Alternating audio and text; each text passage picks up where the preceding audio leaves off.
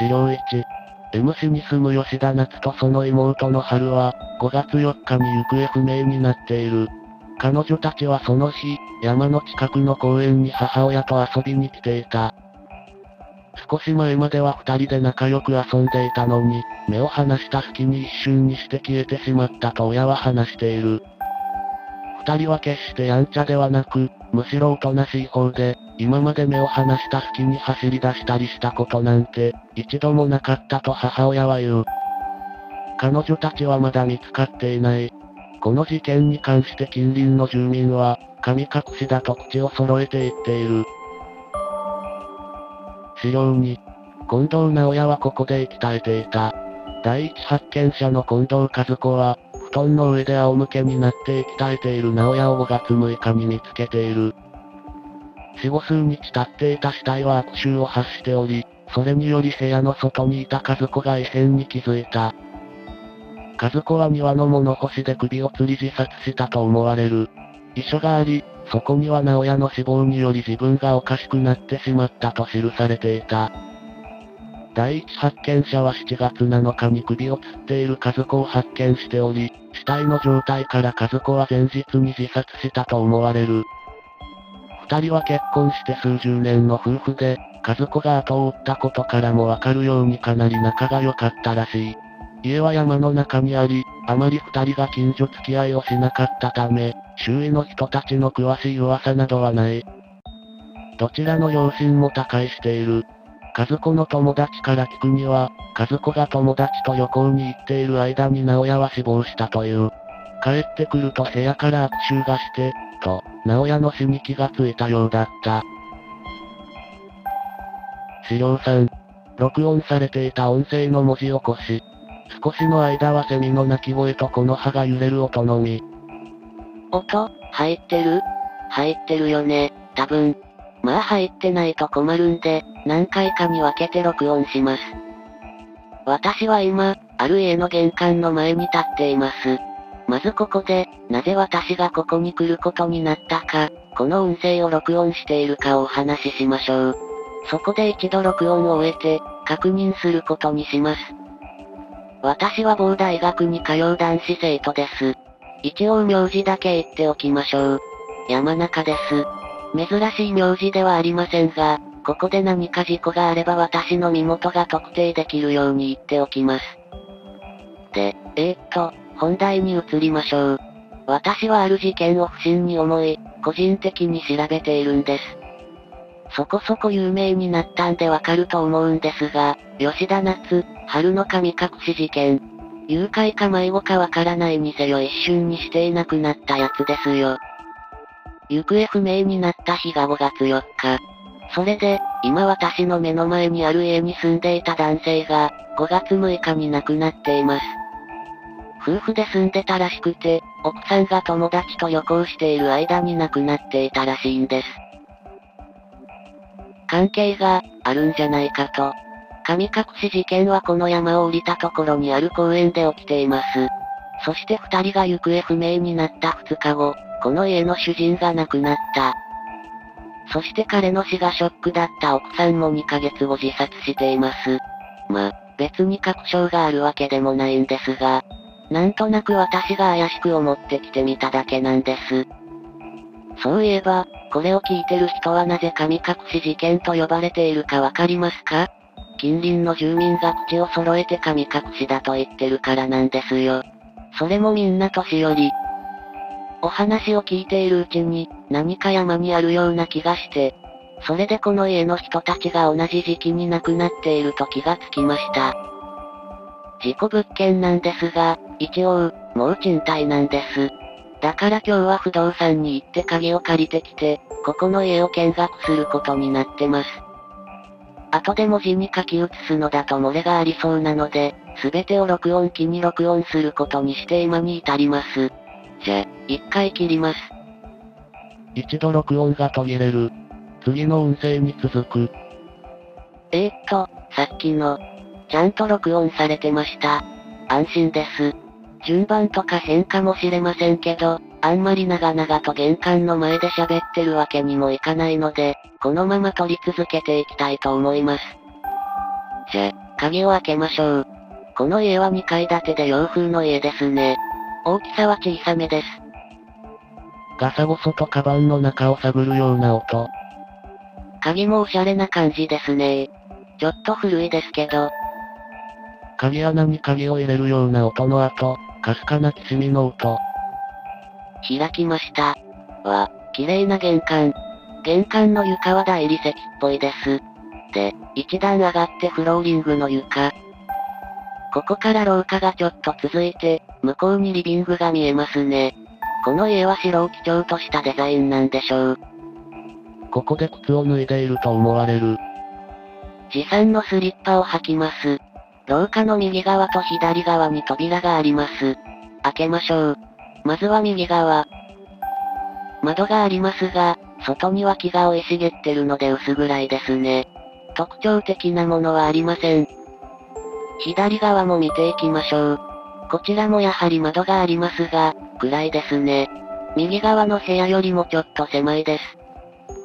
それにしてもなんか、綺麗すぎる気がするんですよね。違和感と言いますか。おしゃれっていうより、白い色で何かを隠してるような。家の匂いもそうなんですよ。木の匂いがしない。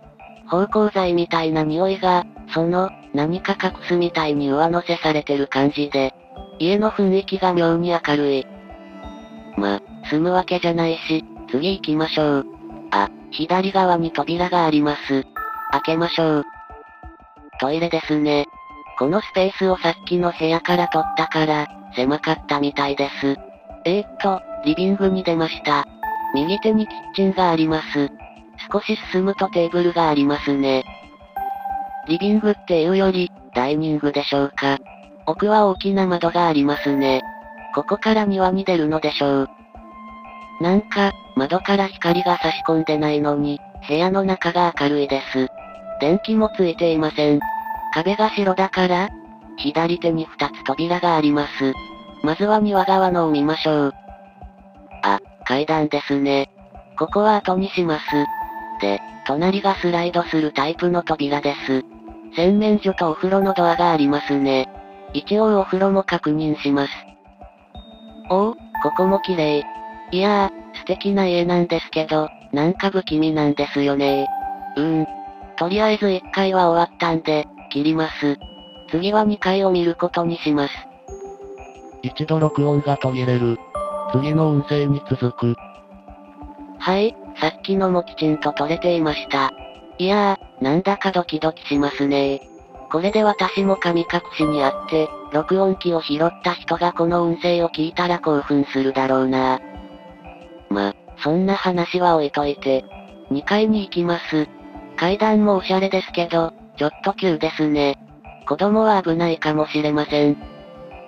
ちょっときしむなぁ。はい、2階に着きました。なんだか不思議な構造です。上がって正面に2つ扉があります。あ、階段じゃない左側のスペースは和室みたいです。襖があります。まず横の襖の部屋を見ましょう。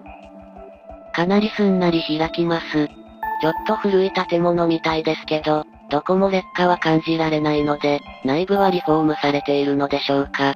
至って普通の和室ですね。ちょっと広いです。窓からは光が差しています。明るい印象の部屋ですね。ちょっとここだけ、今までの部屋と違う感じがします。自然と言いますか。あ、押し入れがあります。中を確認しましょう。なんにもないですね普通の押し入れです。特徴的なものはないので、次に移りましょう。次はこの部屋の向かいの部屋を改めます。あ、この部屋も、窓があります。窓から光が差していますね。クローゼットらしきものがあります。開けましょう。ここも何もなしです。至って普通。でもこの部屋、特徴的なものはありませんが、変な匂いがします。隣の部屋を見ていきましょう。この部屋にも窓がありますね。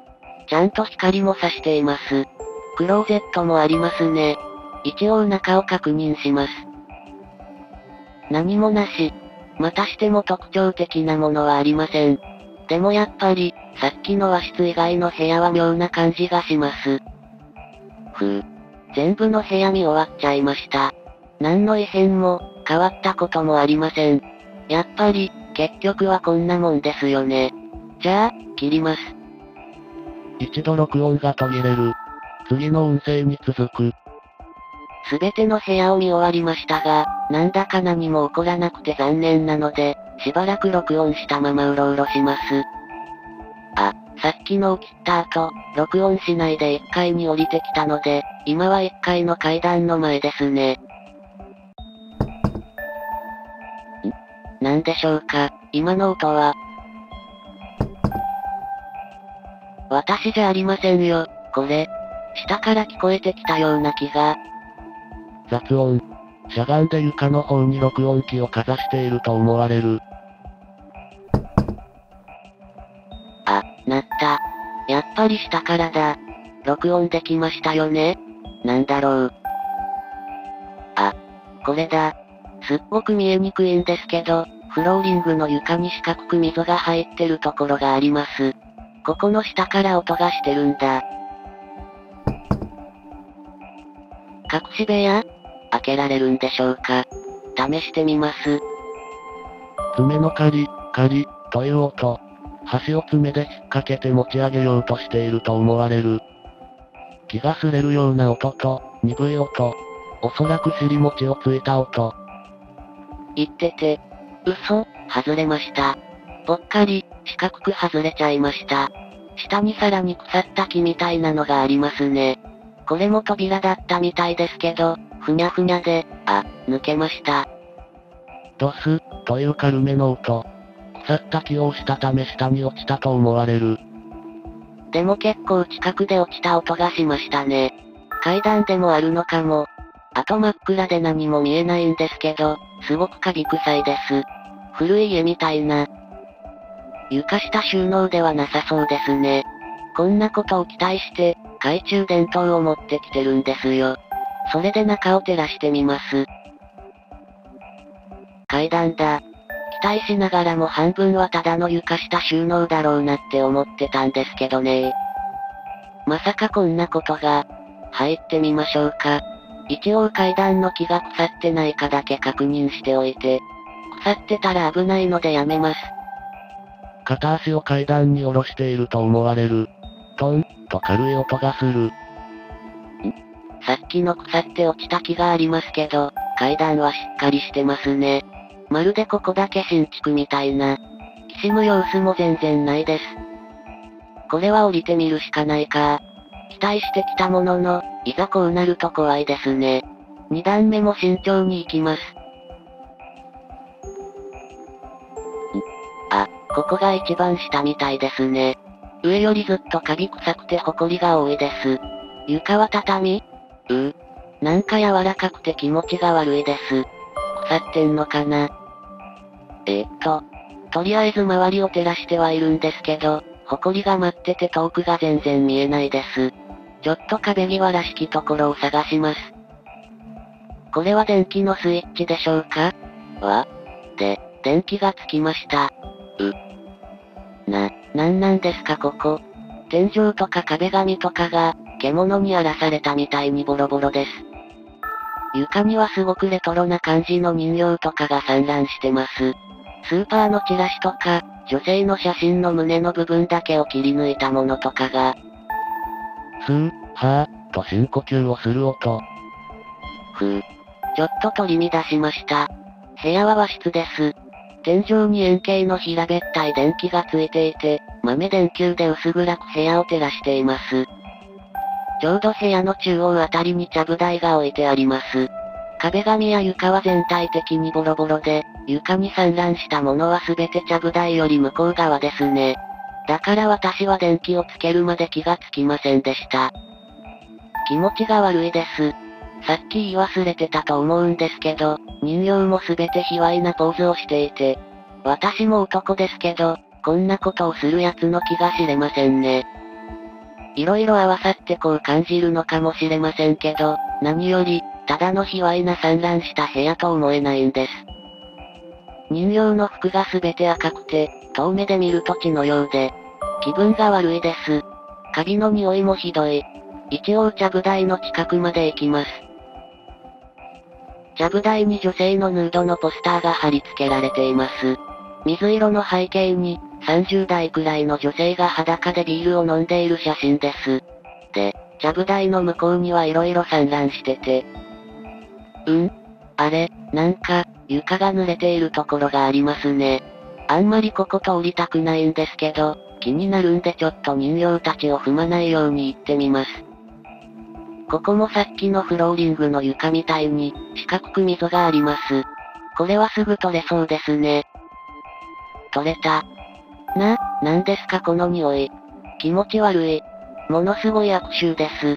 ここの薄暗い明かりじゃよく見えないので、懐中電灯で照らします。う？う。吐くのを我慢するような声。乱れた息遣い。ちょっと、これ、骨？腐ってぐちゃぐちゃで、髪の毛とかもたくさん。う。畳の擦れる音、激しい足音、大きめの雑音。鈍い音がした後硬い音がする。その後苦しそうな息遣いがしばらく続く。もう、気持ちが、悪くて、はぁ、戻ってきちゃいました。あ、あんなの、どんな匂いかなんてわかりません。ただただ気持ちが悪くて。もしかしてたまに感じた何かを隠すみたいな芳香剤の匂いって。ふ、服も、髪もあの嫌な匂いが。もう無理です。帰ります。え？し、下から。なんで？衣服が擦れる音、カタン、という音、硬いもの同士がぶつかるようなカタカタという音。えここで激しい雑音が入り、すぐにセミの鳴き声だけが聞こえる。セミの鳴き声。録音時間を過ぎて切れる。資料4、元凶と思われる。かつて虫のとある山には、色欲に溺れ女をさらいついには食べた男がいた。仕事もせず金もなくなり、生きるために抱いた女だけでなく、子供や男もさらって食べた。そして山に近づくものを全て食べてしまうその男は、鬼と呼ばれるようになる。だが彼は死んだ。なぜ死んだのかは誰もわからないが、男はいつの間にか死んでいた。なぜ男が死んだのを誰もわからなかったかというと、男が死んでからも山に近づいた人が皆いなくなっていたのだ。男は鬼と化し、死んでもなお人をさらい続けていた。それに気づいた一部の人々は、男を神として山に祀ろうと考えた。祀ると言っても、それは表向きで、本当は鬼を閉じ込めようとしていたのだ。さらわれないように必ず単独行動を避け、山の土の中に和室を作った。元の家にあったものをすべてそこに入れ、鬼を誘い込むため、村にやってきた六部の女を部屋に閉じ込めた。そしてその上に神社を作り、表向きは鬼を祀って沈めているということにする。結果は、成功だった。山に近づいてもさらわれる者はいなくなった。しかし、数十年後、少女がいなくなる。鬼のことを覚えていた数少ない村人たちは、自らも朽ちた神社を壊し、そこに家を建てさせた。そこに人が住めば、犠牲になるのはその家の住民だけだと考えたのだろう。村の年寄りはそのことを絶対に他言せず、若い村人たちはそのことを知らないので、次第に山の神隠しは忘れられていった。そんな中一部の家では、自分の家計を守るため家族にだけ語り継いだという。追記。この事件の真偽は、一切答えられないものとする。